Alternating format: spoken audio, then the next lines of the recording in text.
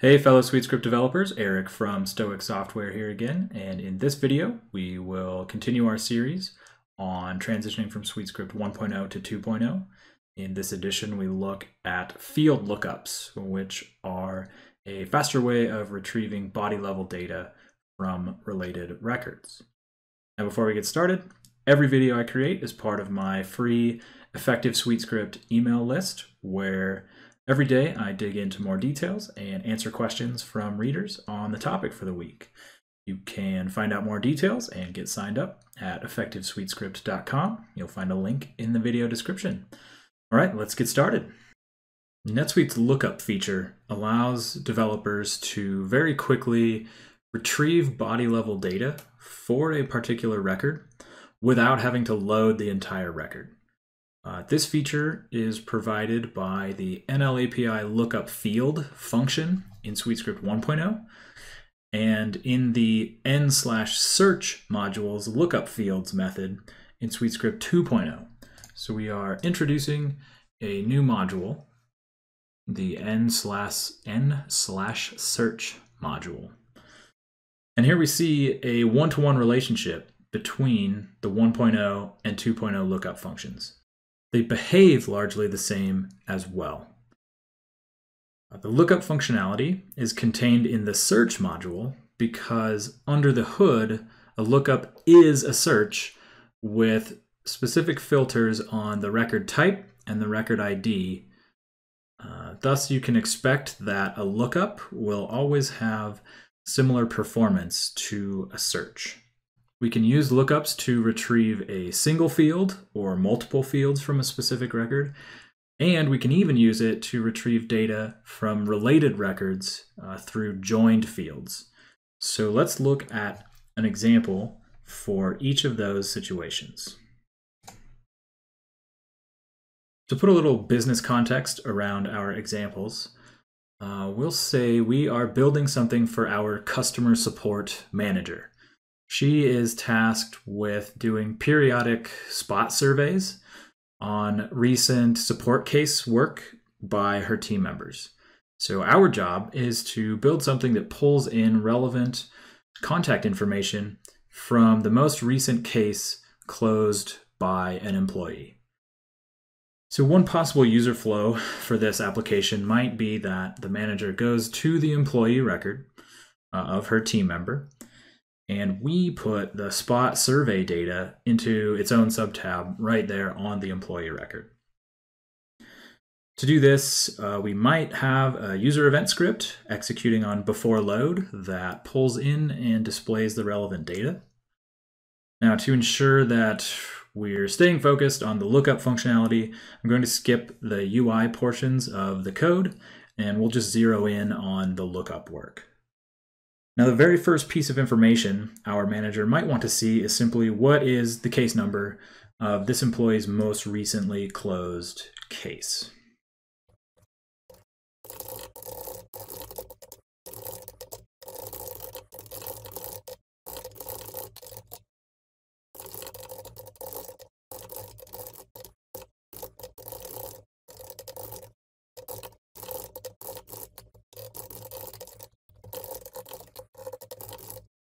Now we're not concerned here with how we get the ID of the latest case.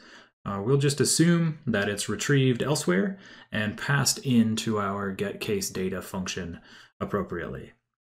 So here we can see how we use lookups to retrieve a single body field from a record.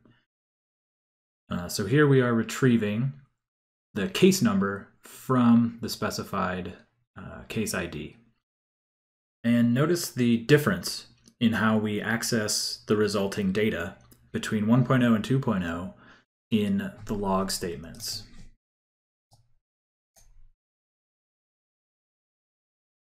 In 1.0, when we only provide a single column to NLAPI lookup field, then only the value of that field is returned. In 2.0, the lookup fields method always returns an object with the columns as the properties, even when there's only a single column. Now the 1.0 approach here might seem more convenient to some, but let's look at what happens when we inevitably get a request uh, for more data as part of this feature. So now along with the case number, we want to see its created date, its date closed, and the email address that the customer provided.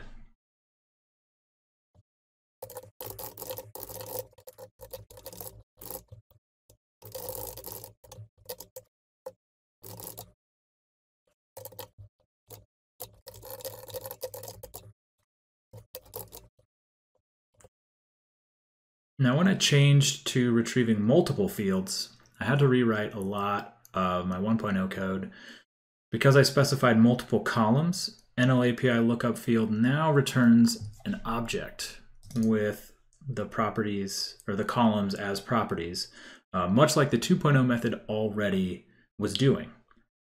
Uh, I've modified the log message accordingly to print out the entire result object but what I had to do there was wrap it in a json.stringify call. Um, and notice that I did not have to do that on the 2.0 side because the log module automatically stringifies uh, any object that you pass as the details property.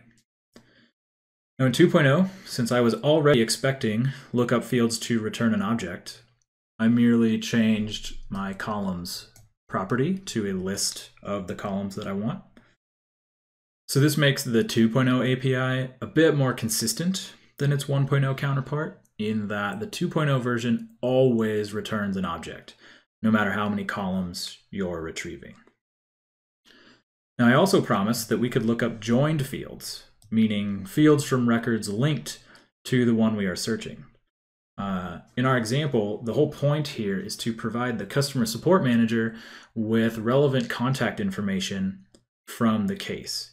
And we've already pulled in the email address on the case, but we also want to see the customer's uh, main phone number, as well as the primary contact's email address and phone number.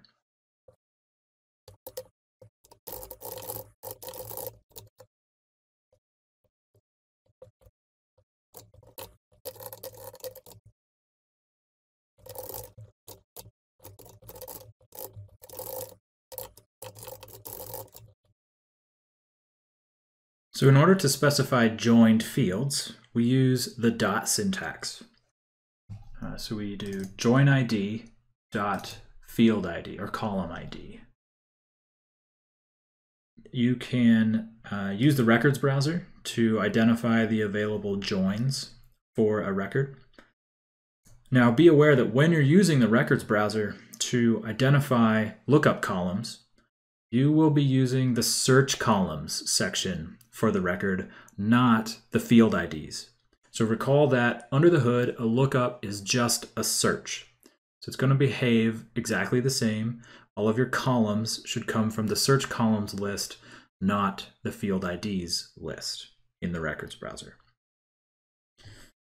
And lastly here, I've added a second log statement in the 2.0 code so that you can see a little bit of uh, what I would consider weirdness when you're trying to read joined fields.